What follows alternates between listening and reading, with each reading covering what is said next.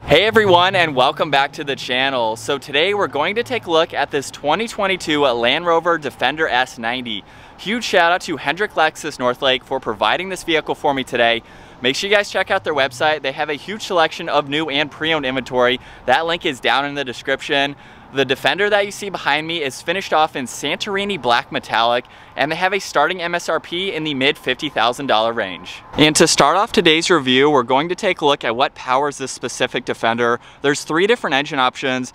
This model has the 2-liter 4-cylinder turbocharged engine paired to the 8-speed automatic transmission. It pumps out 296 horsepower around 5,500 RPM and 295 pound-feet of torque around 1,500 RPM.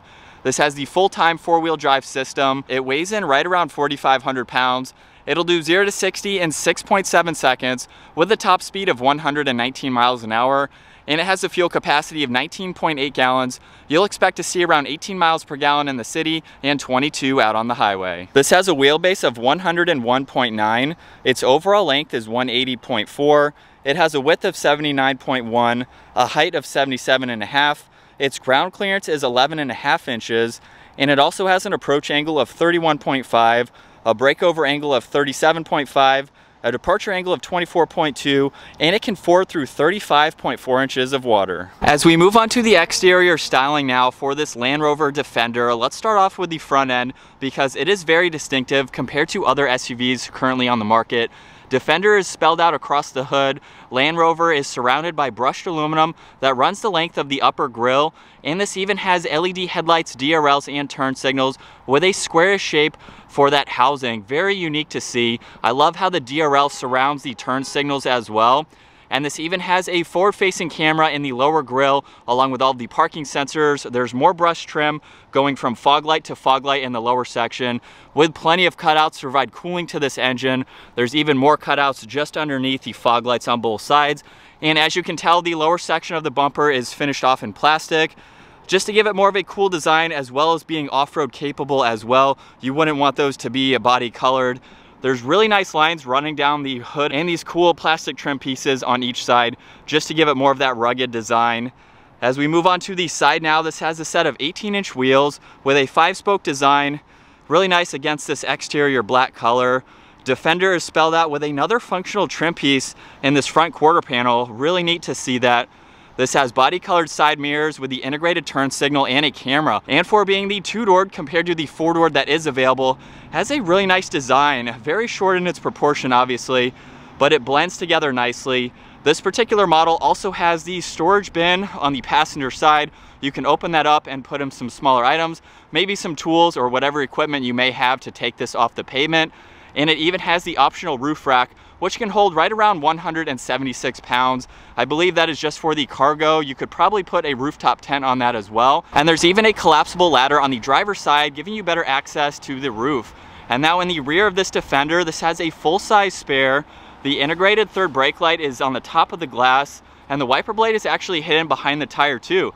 So that gives you better visibility, especially with that full-size spare. This even has LED taillights with that square design like you saw up front, and the reverse lights are on the outer section. And even with the shorter wheelbase being the two-door, this still has a maximum towing capacity of 7,700 pounds. Very impressive for that two-liter four-cylinder engine. The backup camera is also nicely placed up underneath the spare tire, as well as having all the parking sensors. More of that brush trim piece right in the middle to tie it in nicely with the front end design. So that's a look at the exterior for this Defender. Let's move on to the rear cargo. So we do have this lift gate that will swing open. There is a button on the backside where you can unlock this when you walk up to it. And even with that full-size spare, it's very lightweight to open. This has a giant shock underneath it, so that definitely helps. You can see Defender is spelled out, and there's a little bit of storage space in this door, so it makes it very usable. There's even a grab handle too to help you close it if needed. And for being the two-doored, not a whole lot of space behind the back seats, but it's pretty functional to put in groceries. My camera gear fit in here fine. You do have a little bit of room. Now you can fold these back seats down. They have a 40-20-40 split, making this a lot more usable for the short size that it has to offer. And this particular model has a really solid floor liner to it. It's even on the back of the seat. So when you fold those down, it gives them added protection. There's a hook on one side Over on the passenger side, there's another hook as well as the dome lights, even some tie down hooks. And when I lift up the floor, you can gain access to the tool for the spare tire kit as well as the tow hook. There's a 12 volt over on that driver's side too. So definitely plenty of room. And like I mentioned, with that shock for this swing gate, it is very lightweight and easy to close. And now let's move on to the back seats. But first we'll take a look at the driver door panel. Now to lock and unlock this vehicle, simply just push on that button and you will see the power folding mirrors unfold as I unlock it. The door panel has a really cool rugged design to it with all these materials that are going to withstand taking this off the pavement. All the screws are exposed just to give it more of that old school design for this modern vehicle. This has the 11 speaker Meridian sound system, all the window controls, the side mirror adjustments, even the blind spot. There's the release handle and a good amount of storage in the lower section of the door. So a really cool design. All that material is on the upper section too. And these seats have a really nice black leather design to them with all the perforations running down the insert as well as the stitching. And these are manual adjusting seats. So we have recline and incline as well as this bar to slide the seat forwards and backwards. And now making our way to the back seats, all I need to do is pull on this tab. I can move the seat forwards and then give it a good push. That gives me a lot of access at 5 foot 10 to make my way into these back seats. Now you can fit three people in the back of this, so that makes it very capable. There are two air vents right in the middle as well all the climate adjustments. There's USBs, USB-Cs, 12 volts, and all of those controls. So your backseat passengers can have a lot of comfort being in the back. Now, obviously I have that seat all the way forwards as I can't move it back, but even with this seat over here, plenty of room for your legs. And at five foot 10, I even have a few inches above my head. Now these seats don't recline, but this is a pretty comfortable seat. I could enjoy being in the back of this. It's very spacious for the two-doored model. There's a grab handle, even a little bit of storage, massive window, so you won't feel claustrophobic. There's even the safari window up in the roof. So you can use that to get in some light.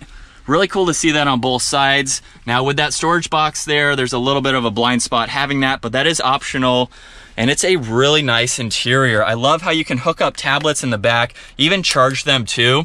And we have the full moonroof, so you can definitely get in a lot more light for this interior. It is so roomy for being the two-door model. And then hopping into these front seats, it is a little bit high, but it's not that bad for a vehicle like this. The door opens very wide as well. And then the steering wheel is covered in solid black leather. We have more of that rugged style design with this two-tone look. I really like the spokes that come off of each side as well. And as you can tell, there are no controls on both sides. They are hidden when the vehicle is turned off. So let's turn this on with my foot on the brake. That button is over on the right side and we can bring all the electronics to life. And looking at this gauge cluster now, over on the left side is the speedometer as well as the fuel gauge. On the right side is the tach and the engine temperature. And then you can go through a lot more information right in the middle by using these buttons over on the left side of the steering wheel, where currently you can see voice commands as well as Bluetooth controls. There's even a customizable button and volume for the radio. On this right side is the heated steering wheel as well as cruise control and the lane keeping assist. Now on this left side, if I push on the circle right in the middle, it will bring up the arrows to where we can go through all this info now. So currently it's showing display. If I go into the layout, you can actually configure this to show one dial. As you can see, there's currently two. It will shift the tach to the middle and now you can see the navigation over on that right side. If you want to bring that up in a fuller screen, you can even go to the full map. So it's pretty cool just depending on what you like to go through. You can even go into the driver assistance as well. Now if I scroll back and go to layout again, we can go into the off-road information and you can actually have that on or off just depending on if you'd like to see it. If I scroll over to the right one more time, we are back to that vehicle information. So not a whole lot of info, but it's nice that you can go through what's available.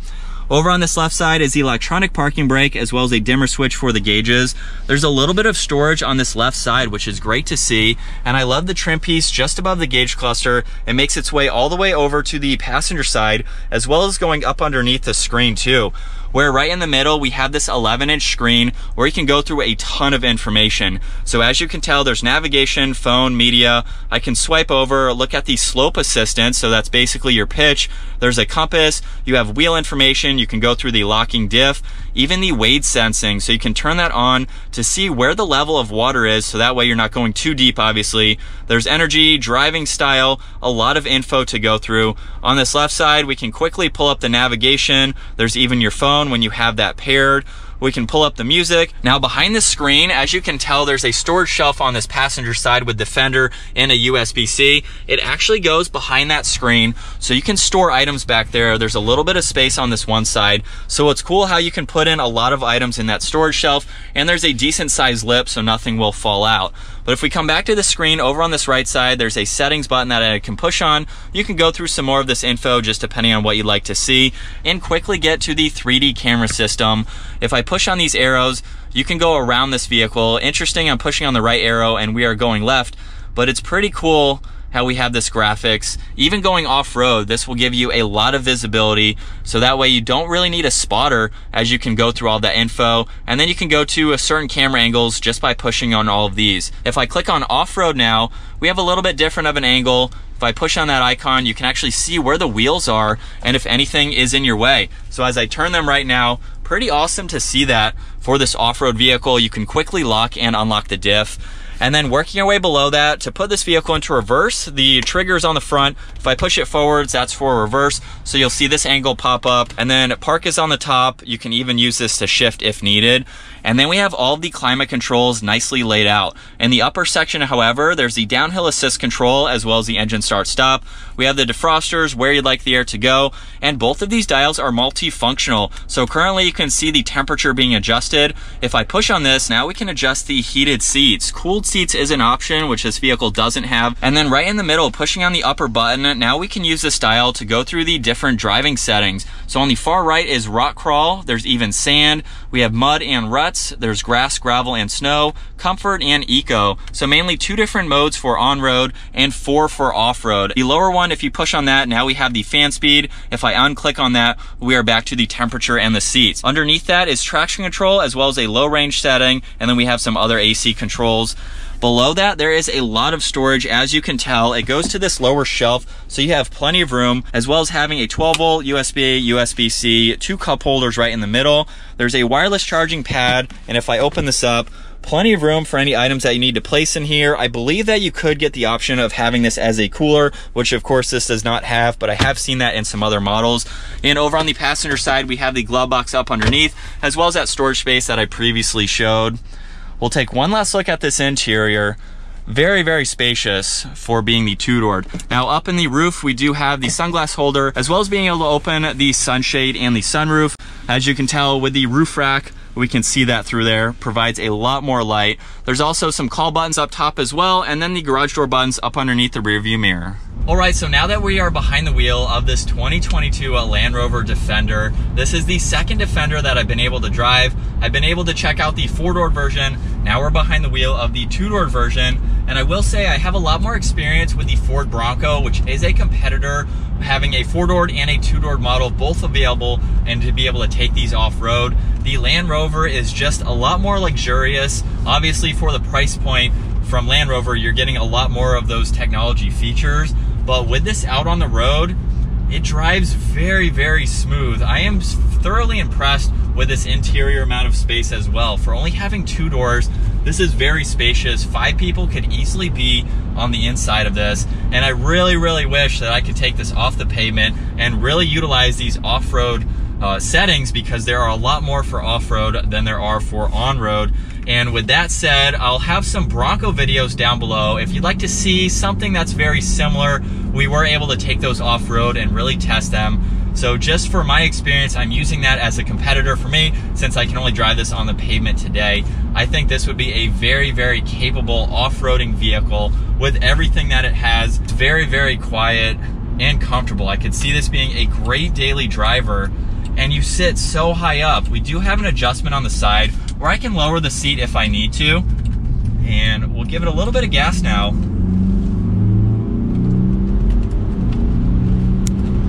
And it gets up and moves. It's pretty cool to see that there are three different engine options for this Defender. And with the engine that this model has, its towing is very, very surprising. For the short wheelbase, if you look on Land Rover's website, the 2 liter can tow around 7,700. We have the 3 liter, which is close to 8,000. And then the 5 liter V8 is well over 8,000 pounds. That is very, very impressive. If you need a smaller vehicle like this, you're not sacrificing anything for towing, for off-road. There's advantages and disadvantages to a four-door versus a two-door off-road, but you can still take this off the pavement and use it as a utility vehicle.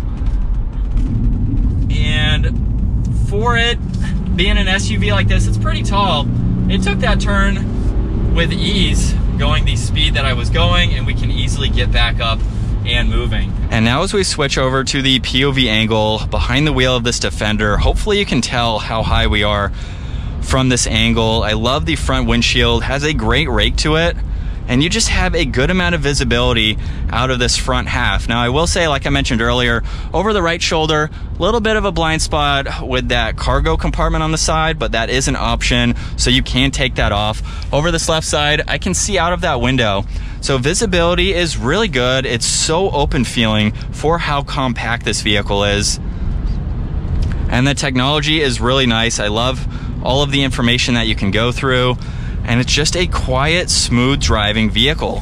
For a hardcore off-roader like the Defender, you can absolutely daily drive this and be super comfortable. There's a few other options that you can get, like the ventilated seats, as I mentioned, just to give you all those creature comforts for out on the pavement. Let's face it, this is going to see the pavement a lot.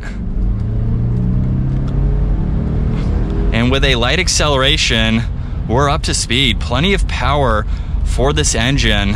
And we'll do one last acceleration for today's video. I am very impressed with how peppy this engine is and we are up to speed just like that.